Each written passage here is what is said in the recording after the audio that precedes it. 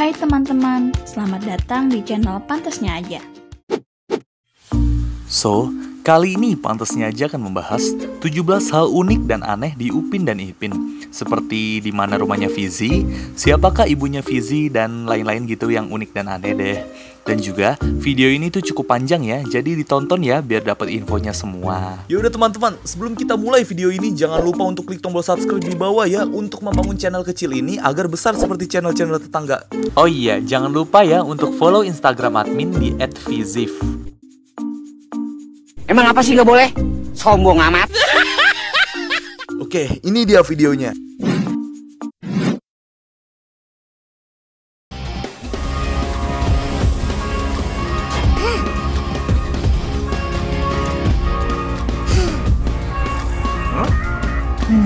Oke, yang pertama ini yaitu pada scene pas Upin Ipin buat sepeda sama Tok Dalang ya, yang nama sepedanya yaitu TDR 3000 atau Tok Dalang Ranggi 3000. Nah, pada saat membuat sepedanya diselingi dengan hal-hal lucu ya. Salah satunya ini Ipin yang terlihat melakukan las pada gelas aluminium untuk menghangatkan minumannya.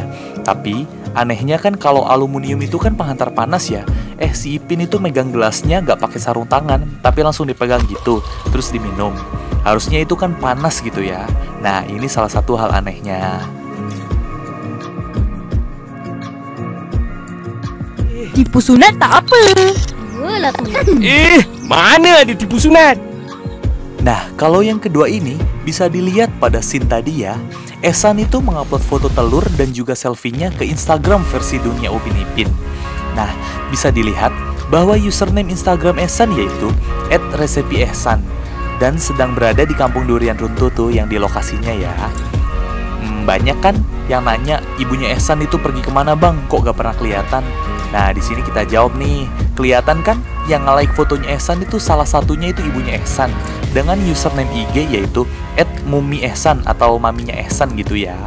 Dan juga bukti bahwa maminya Ehsan itu ada di rumah. Bisa dibaca captionnya ya. Intinya sih gini, bahwa Ehsan minta masakin telur ini sama maminya nanti malam gitu. Tapi pada musim 14 di video YouTube-nya Ehsan username IG-nya itu berubah menjadi Intan Payung gitu. Bisa kalian lihat ya.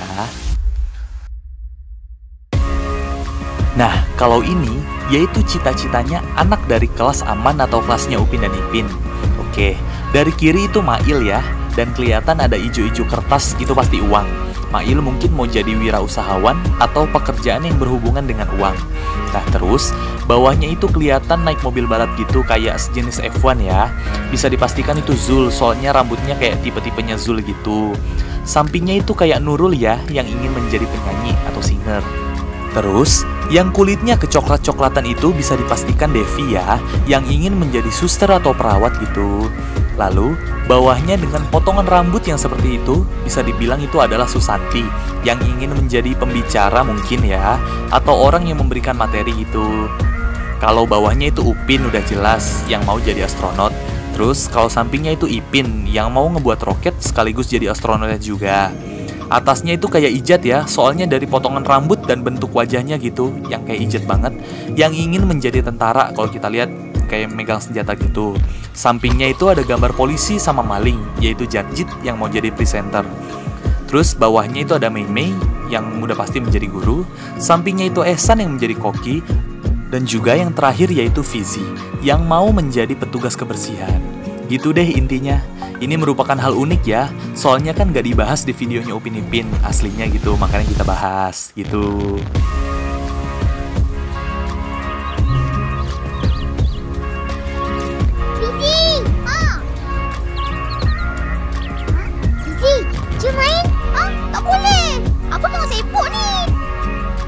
Nah, yang ini banyak ditanya ini di komentar video-video sebelumnya, yaitu di mana rumahnya Fizi ya.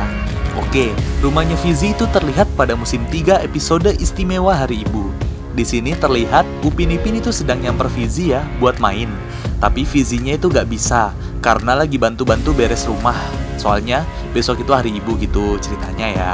Nah, bisa dilihat kan penampakan rumah Fizi dari jauh dan deketnya juga. Tapi dalamnya itu kurang kelihatan soalnya kan Upin Ipin gak masuk sampai dalamnya. Intinya jadi tahu kan yang mana rumahnya Fizi dan juga seperti apa gitu bentuknya.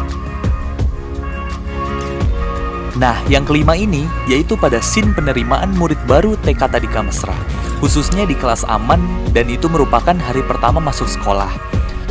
Oke, di foto ini gue kasih kalian waktu 5 detik ya buat tebak anehnya itu di mana. Satu, dua, tiga, empat, lima. Iya, jawabannya adalah gak ada Fatia di sana. By the way, buat yang gak tahu Fatia, Fatia adalah murid misterius yang gak pernah ngomong dan juga duduk di sebelah Nurul ya pada musim 2 yang kemudian digantikan oleh Susanti di musim ketiga gitu. Ya udah gue jelasin juga sih ini di video sebelumnya alasan dia pindah dan digantikan oleh Susanti. Jadi intinya di sana cuman ada 11 murid ya, yaitu Ijat, Devi, Nurul, Meimei, Upin Ipin, Mail, Zul, Fizi, Ehsan dan Jarjit. Oke, jadi di mana si Fatia ini pada saat hari pertama masuk sekolah?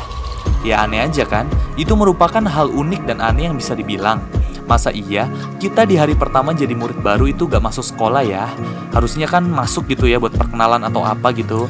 Kecuali kayak ada alasan sakit, mungkin itu bisa jadi gak masuk gitu. Nah, kalau yang ini bisa dibilang bercandaan aja ya, bukannya rasis atau apa. Ini merupakan hal lucu dan unik karena di scene ini Jarjit kayak gak tahu gitu kalau matanya Meme itu emang sipit.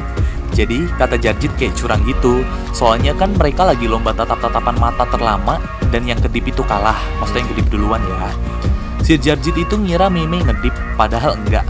Emang matanya Mimi aja yang sipit ya. Jadi seakan-akan kayak gak buka mata atau kedip gitu.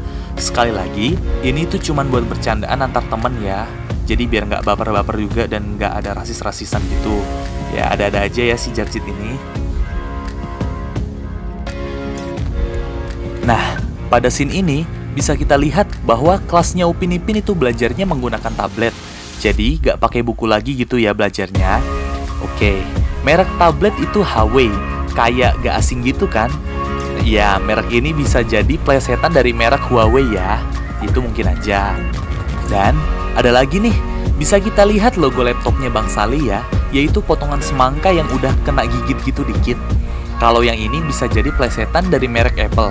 Soalnya kan sama ya, sama-sama buah gitu maksudnya. Dan juga udah kena dikit. Itu mungkin aja ya. Sekali lagi ini mungkin buat lucu-lucuan atau easter egg gitu. Nah, kalau yang ini sama halnya kayak tadi ya, yaitu plesetan juga. Tapi kali ini yang diplesetin itu Google jadi carikan. Soalnya kan Google itu search engine. Jadi diubah ke Malaysianya itu jadi carikan gitu ya. Ya jadi pas sih ya. Selanjutnya, itu ada plesetan dari YouTube jadi YouTube, YouTuber jadi YouTuber. Haha, gitu dah. Kayak salah satu pekerjaan freelance-nya Bang Salih ya yang udah gue bahas kemarin. Plesetan ini cukup keren ya dan dalamnya itu hampir mirip. Maksudnya UI dan UX-nya ya. Sekali lagi ini keren gitu.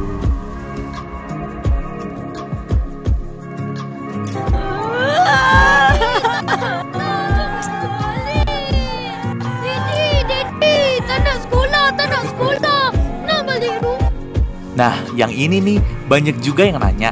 Apalagi gara-gara kasusnya Fizi kemarin ya, yang kata ngomong ke Upin Ipin, kalau tak ada orang tua maka tak ada surga ya.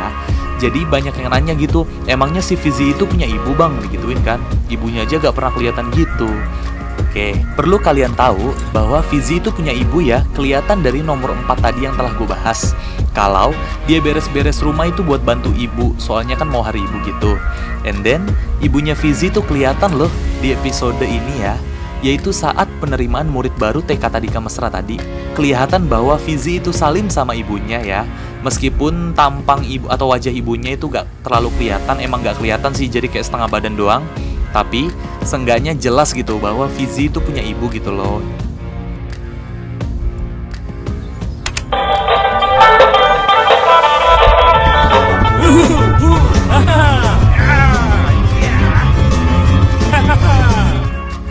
Gimana? Udah pada tahu kan akhirnya rambutnya Tok Dalang?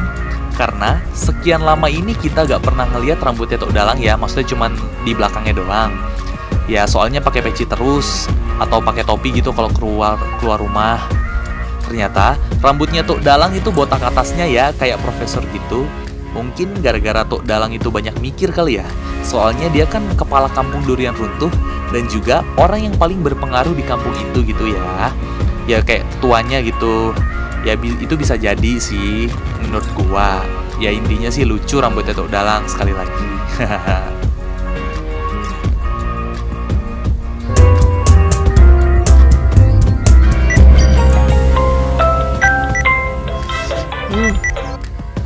Nah, kalau yang ini gue aja kaget banget ya. Tahu-tahu ada game-game ini di tabletnya Opah. Gue awalnya tahu dari share-sharean Facebook dari satu fanpage gitu ya. Makanya gue bahas lah ini. Ya, bisa kita lihat di tabletnya Opah itu ada game-game. Ya, gue sebutin aja yang gue tahu kayak Rules of Survival, Candy Crush, Dadudido, game dari Let's Q, dan juga game segala umat yaitu Mobile Legend atau ML. Duanya itu gue kurang tahu. Bisa kalian komen kalau kalian tahu ya yang pada akhirnya Opa itu mainin game Dadu Dido yang buatan Let's Go tadi kenapa Opa tuh nggak mainin game Mobile Legend aja gitu ya gue kan pengen tahu gitu ranknya Opa tuh apa dan juga siapa tahu bisa mabar gitu kan. Anjay mabar. Intinya ini bisa jadi Easter egg dan juga hal yang unik di Upin Ipin ini gitu. Soalnya kan jarang yang sadar akan hal ini. Soalnya kayak per second eh per frame gitu gitu langsung ke skip. Gitu deh. Makanya bisa aku bahas. Keren kan? Upin Ipin masalah Skopakin juga keren sih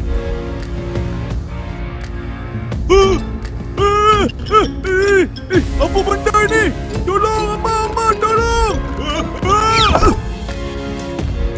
Nah, kalau yang ini bisa dibilang Jarjit itu penggemar rahasia Susanti kali ya? Atau emang Jarjit ini naksir sama Susanti? Pada lihat gak itu loh, Jarjit masang fotonya dia sama Susanti di kamarnya. Itu yang di dinding. Nah, bisa dibilang kan emang dasarnya kayaknya suka nih si Jarjit sama Susanti. Itu mungkin. Atau emang pihak Leskopakyu itu nyelipin easter egg lagi buat kita pecahin gitu? Maksudnya gimana gitu ke depannya? Makanya gue bahas lah ini. Bagi kalian yang punya pendapat tentang hal ini bisa tulis di komentar ya. Maksudnya kayak momen Jarjit itu di episode berapa atau musim berapa gitu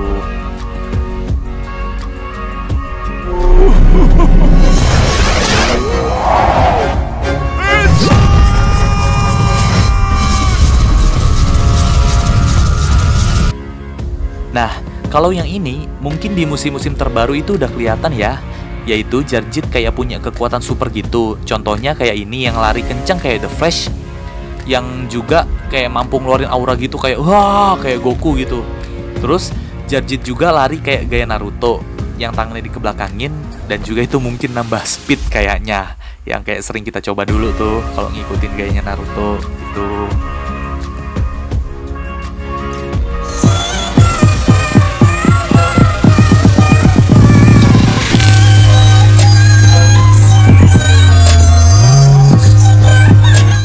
Oke, kalau yang ini mungkin momennya yang pas saja kali ya. Soalnya pas banget sih ekspresinya Mail ini pas lagi pengen jepret tangan Ehsan gitu yang kayak main jepretan tangan sama si Joker India atau si Rickstar gitu. Lihat deh mukanya Mail kayak ya kayak Joker India itu, bener kan? Digitu-gituin.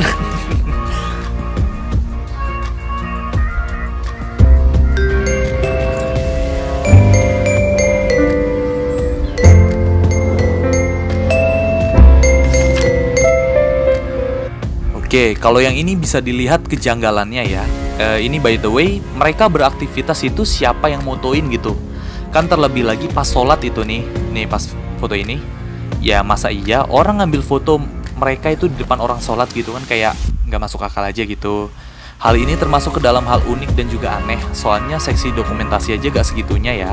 Tapi ini kan animasi, ya jadi dari sudut pandang pembuatnya gitu, jadi kayak dari kitanya dari kita yang lihat gitu-gitu.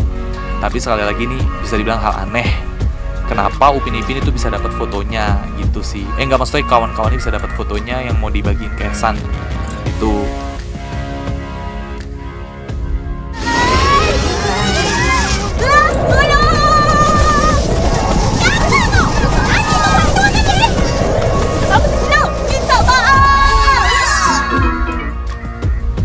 Nah, kalau yang ini, itu scene pas Esan pindah ya. Ternyata temen-temennya itu di prank Ehsan gitu dan akhirnya marah. Terus jadilah superhero dari Marvel Avengers. Ya kayak gini nih.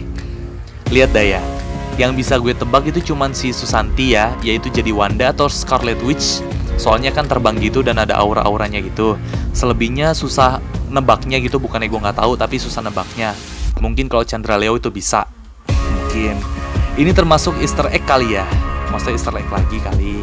Dan juga kalau yang ini itu ada poster Sarjen Hussein di kamarnya Upin Ipin yang mirip dengan Iron Man karena ketambahan 3000 gitu. Jadi kayak I love you 3000-nya Iron Man ke anaknya gitu. Jadi Sarjen Hussein 3000. Itu mungkin atau terinspirasi kali ya Sarjen Hussein ini itu. Iya, kamu semua buatan Malaysia. Eh, enggak. Saya buatan Indonesia.